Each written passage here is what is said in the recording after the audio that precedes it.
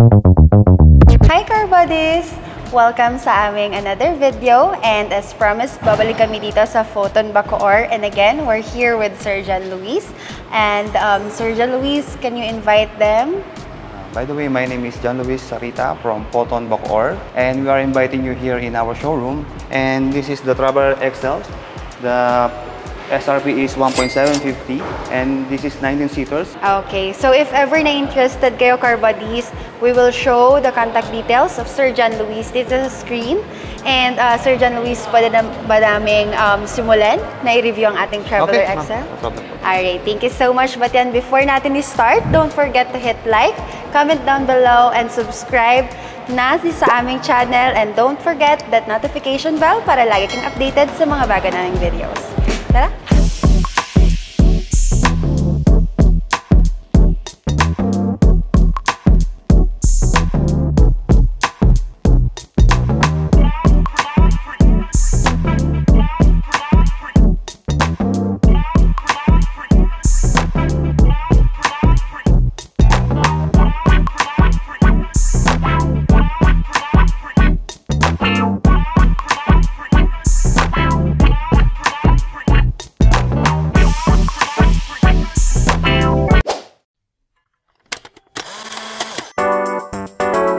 All know, the Photon has three vans in their lineup. Number one, the Trans Van. Number two, the Traveler X, which we already reviewed. And of course, the biggest one, the Traveler XL. The Trans Van and the Traveler X has 16 seaters, while this one has 19 seaters. So this would be perfect if ever na mayroon kayong company and of course if ever na meron kayong big family na ang usual nyong bonding is ang pag-outing this would really be perfect for you. And considering na mahal ang gas and toll nowadays, malaki ang matitipid natin if ever na ito yung gagamitan natin. Especially, um, kayang-kaya nito i-accommodate yung passengers ng four cars. So yun yung halos nakatumbas niya. And if ever naman na hindi lang passengers or hindi mapuno ng passengers ang ating van, malaking malaking space pa yung available for our luggages or any package na kailangan nating i-travel. And bukod sa pagiging malaki ng van natin, one of its selling point is the price. Mas mura siya compared sa ating competitors. And makikita nyo sa screen ang prices ng vans nila. And for color availability naman, available siya in four colors black, white, silver, and gray. So, ang silver and gray natin, as per Sir John Luis, it would be per order. So, um, contact nyo lang sila if interested kayo. And of course, shout out sa'yo, Sir Ryan Montañez, dahil hindi lang once, hindi lang twice, kundi five times mang na-request na i-vlog namin itong Traveler XL. Kaya para sa'yo, ang vlog namin na to. So before tayo mag-proceed sa exterior, mention ko muna ang safety features ng ating Traveler XL. This one has dual SRS airbags, reverse camera with sensors, and of course, the ABS with EBD. And for warranty naman, that would be 5 years or 150,000, whichever comes first. And for parts availability naman, uh, kung noong 2014 issue, medyo mahirap. Uh, ngayon, mas madali na yan dahil meron ng planta dito and dito na sa Philippines sina-assemble yan sa Clark, Pampanga. Yung parts is locally available na, so that would not be one of our problems anymore. So yan, uh, proceed tayo sa exterior. Tara!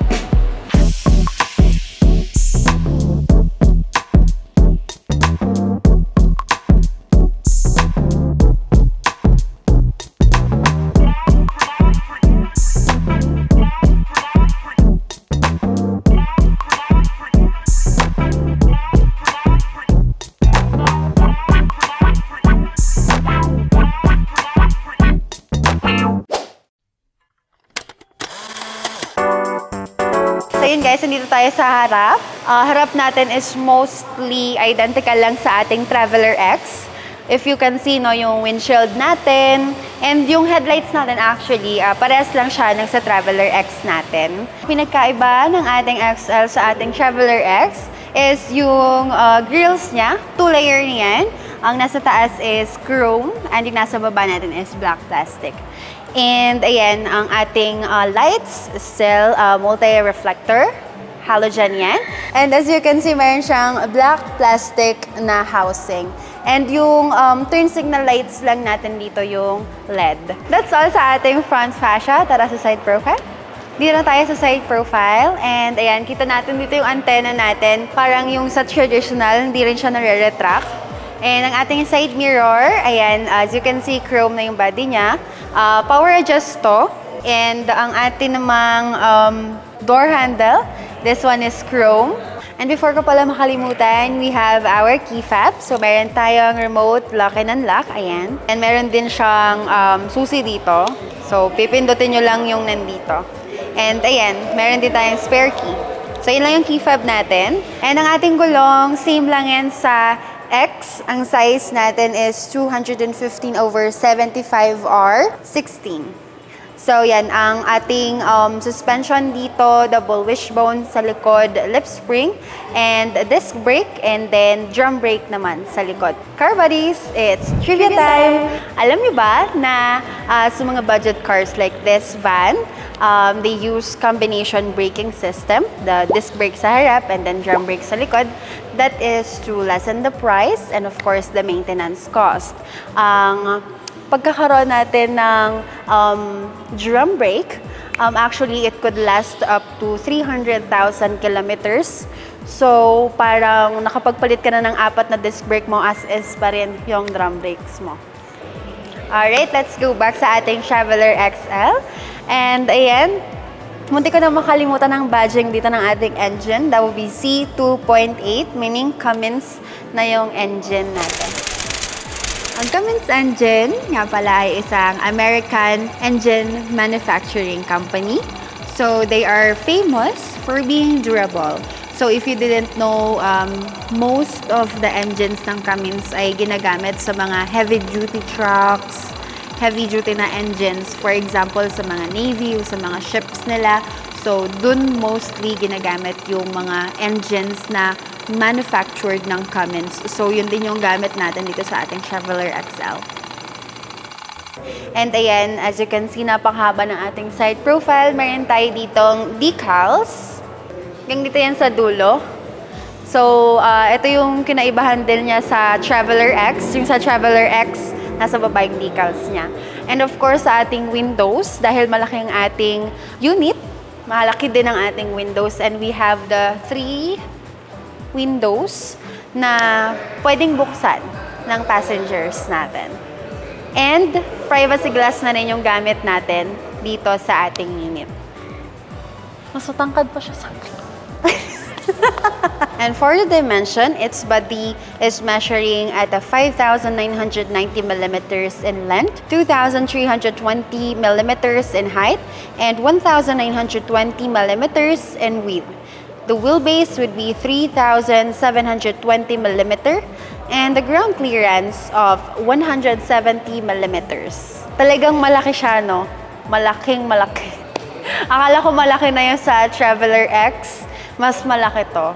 Actually, sinukat ko to kanina parang tatlong dipa at kalahati. Apat na Zara. Ganon. Tara sa likod. Dito tayo ngayon sa likod. And ayan, kita natin ang ating third brake light, ang ating wipers. And we still have this, the mirror. And we have the defoggers, syempre yung logo. And meron din tayo ditong uh, chrome accent, no? Ito ang ating reverse camera and of course, meron tayo ditong four-eyed sensors.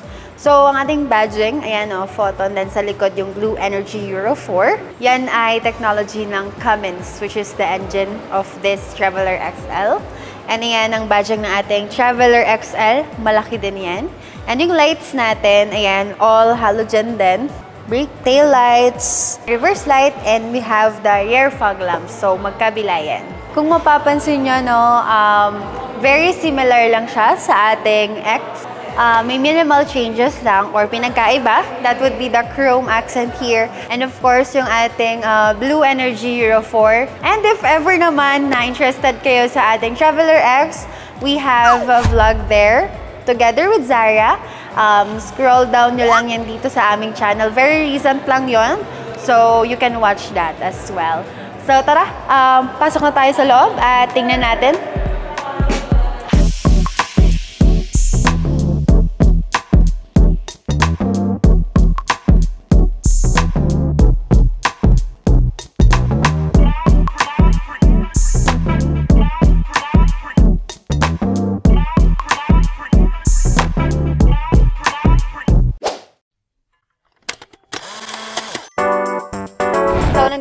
ngayon sa ating interior and umpisahan natin yan sa ating visor.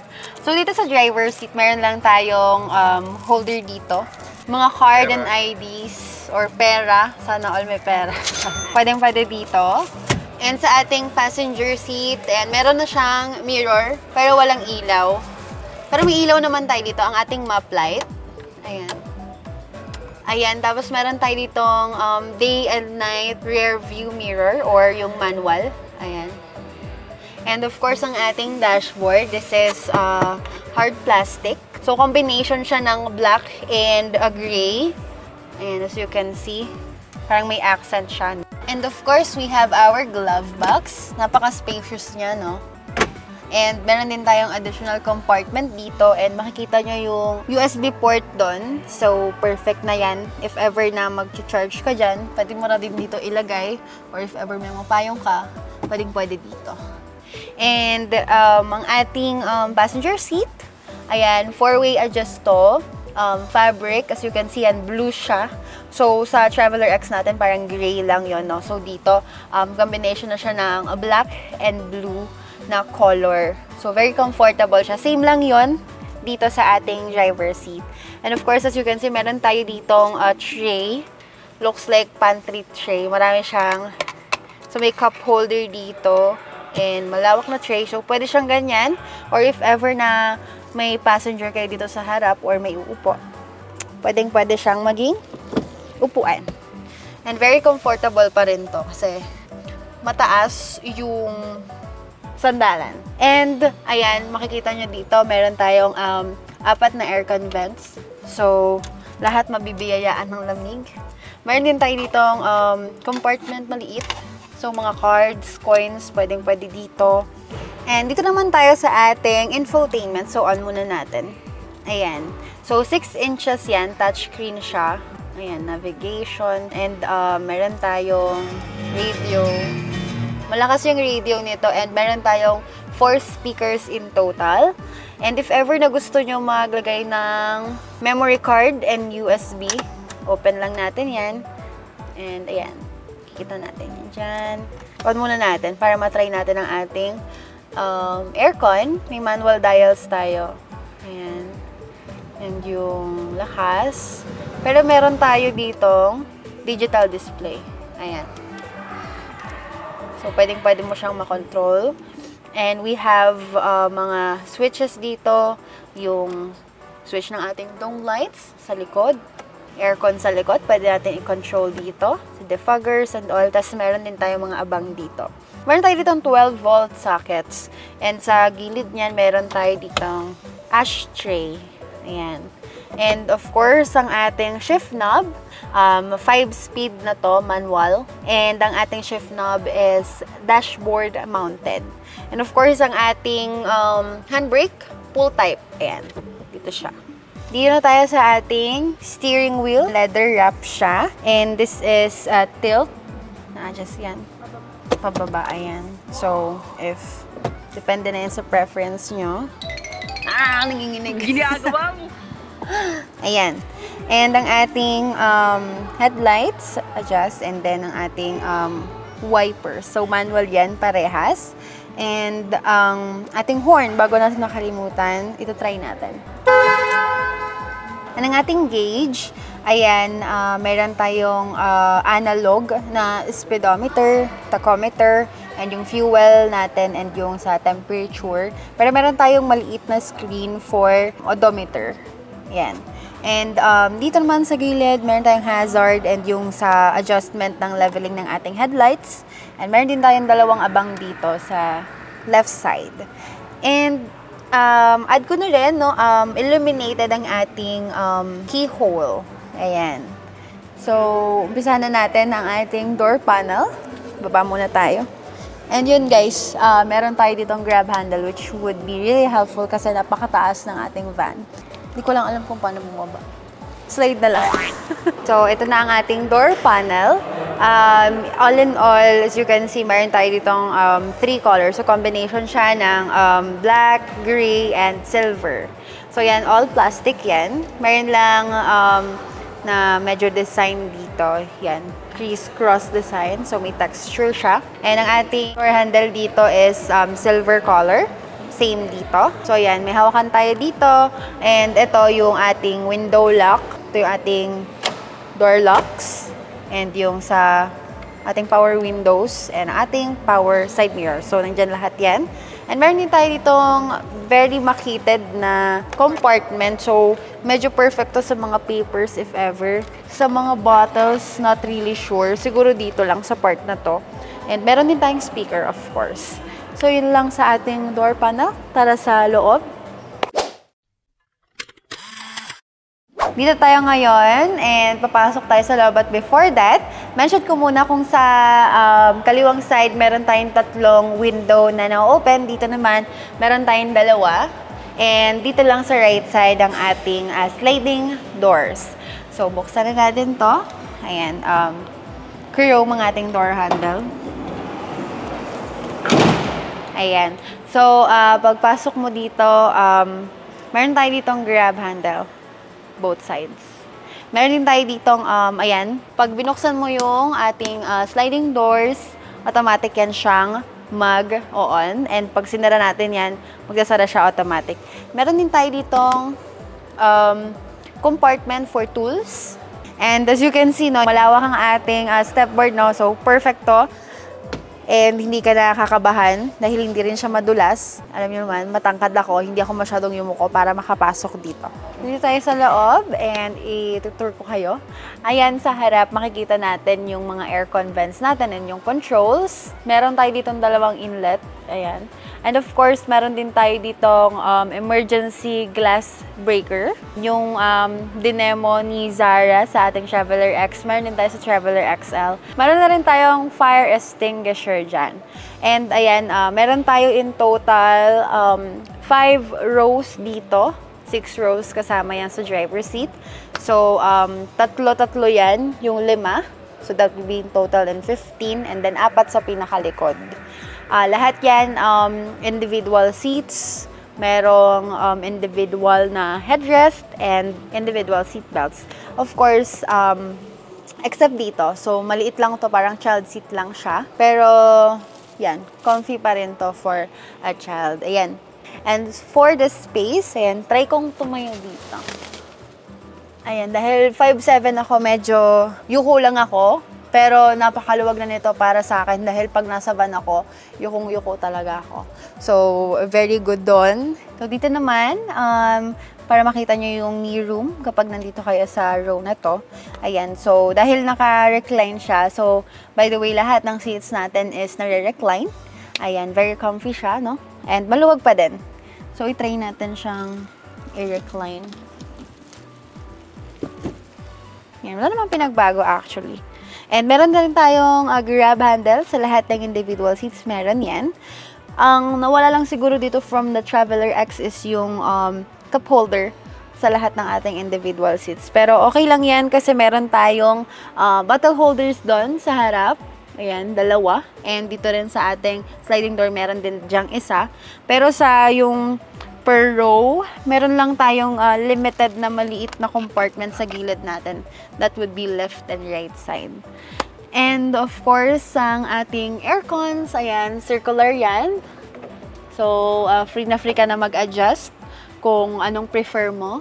And meron din tayong dalawang speaker. Ayan, left and right. Napakalakas niya actually.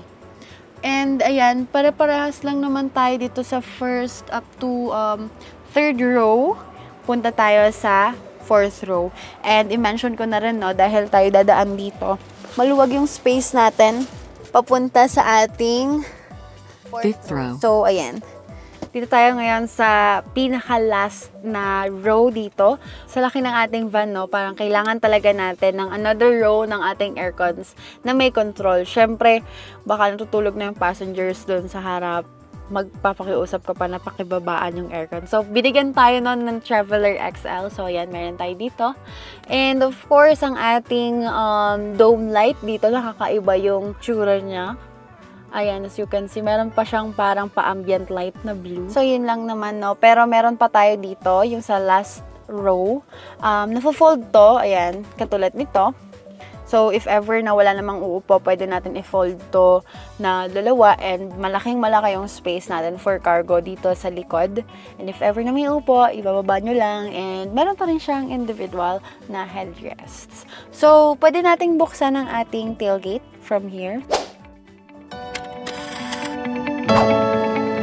Hi guys. So yan, uh, may hydraulic assist na ang ating um, tailgate. Dagdag lang natin dito if ever naman na nakababa to parehas may space pa rin tayo sa likod or sa baba if ever na may mga baggage pa rin kayo. And yung spare tire natin para ma-access natin, naka-hide siya dito sa ating carpet. That is all lang naman sa ating interior. That concludes our review sa ating Traveler XL. So, perfect na perfect to if ever na nagko-consider kayo ng van and napakalaki ng need nyo, no, na space perfecto considering sa price. And of course, if you're looking for that premium feels, bibigyan sa'yo ng Traveler XL. So, if ever na interested ka, contact mo lang si Sir John Luis for more details. And thank you so much, Car Buddies, dahil na-reach na natin ang 50k subscribers dito sa YouTube. So, if ever na hindi ka pa rin nakasubscribe up until now, mag-subscribe ka na. And yon uh, again, thank you so much Photon Bacor sa pag-accommodate sa amin dito at pagpapareview sa amin ng inyong vans. And always, don't forget to hit like, comment down below, and subscribe to our YouTube channel. At wag mo na rin kalimutan ng notification bell para laging updated sa mga bago naming videos. And see you on our next video!